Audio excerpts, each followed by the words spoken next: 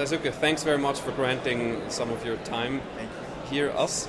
Um, you are a student participant at this year's St. Gallen Symposium, and what is particularly interesting is you have been visiting the disaster zone in Japan.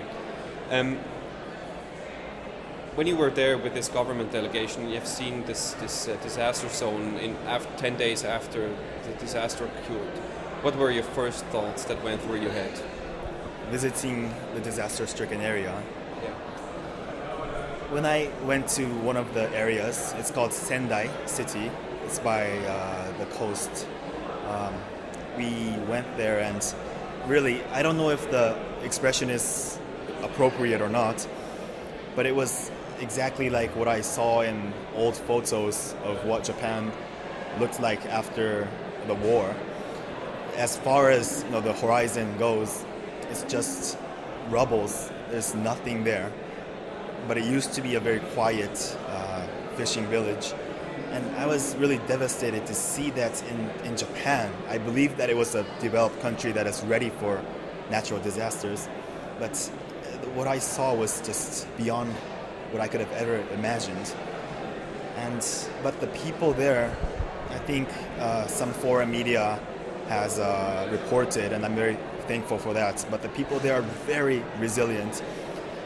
The northeastern area is especially known for being very strong and resilient because they go through very hard winters.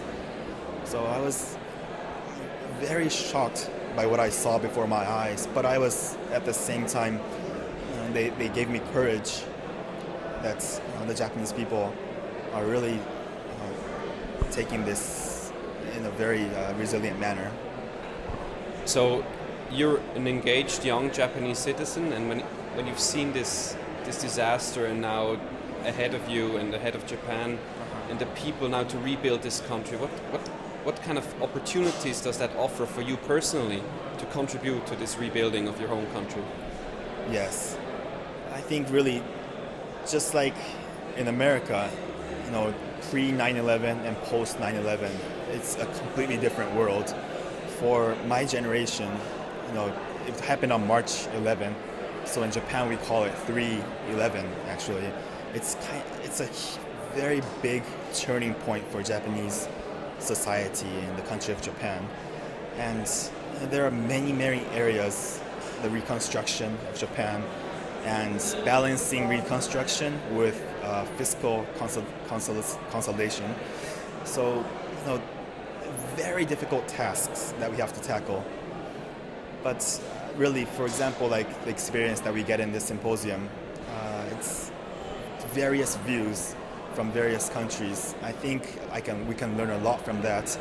And people like me who have been bestowed with the chance of joining this kind of experience, I think there's a lot that I can take back to my country, and uh, I want to contribute, hopefully in the future as a politician in Japan, to the rebuilding of the country, which will take decades. So my life, most of it will be dedicated to the rebuilding of Japan. Talking about uh, policymaking in Japan, um, people in Japan, and that is quite unusual, I've heard, um, publicly um, expressed anger about the government and how they have handled the crisis. Do you think there's going to be a permanent shift in how policymaking or how the discourse between public and politicians um, is being made in the future? Or what do you think? I think everybody hoped that there will be drastic changes in the Japanese political system because of the disasters.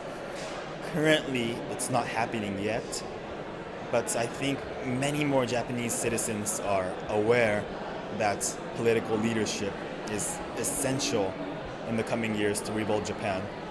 So I think these kinds of uh, revelations that the people are having are going to be reflected in the coming elections. And I think this will definitely lead to a gradual uh, change in the Japanese policymaking system and I think it will make uh, Japan Japan's uh, political system much better than what it has been in the past. So I think the prospects are bright. Japan has experienced, especially in, in the 90s and the early uh, years of the new decade, um, a long period of political stagnation and economical underperformance.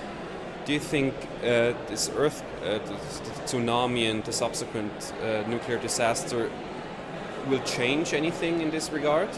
I mean, are policymakers now really willing to use this this turning point in history of Japan after the Second World War as a, as a chance to move on, really to change something really at the heart of the economy and the political processes? I think they are still struggling with this, and you know the the old system has been very strong, and it takes a lot of time to completely reform the old system. But I think the process is is proceeding uh, behind the scenes very rapidly. So I'm I'm forecasting that within five years there will be a big political reshuffling of the system and the current political parties. And I think that is going to be the beginning of a rapid change in the Japanese system. So I'm, I'm very confident about that. Um, you, as a future leader, you already have or you will have a lot of power. Um, what are you going to do with it? I will use it entirely.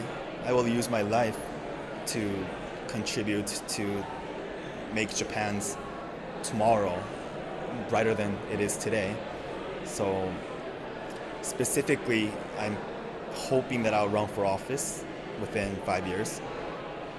And if I do, I will invest my entire life and energy into rebuilding Japan and making Japan better. Just as a, as a last question, talking about the St. Gallen Symposium and now the, the, the few days you've spent in St. Gallen so far, can you describe us in three words maybe what your impression is three so words. far? Three words, three adjectives. Oh, that's very difficult. Uh-huh.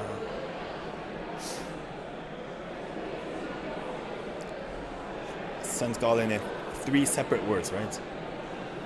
I think it's diversity, revelation, and I think it is hope that I see in this symposium. Great. Thank you very much. Thank you.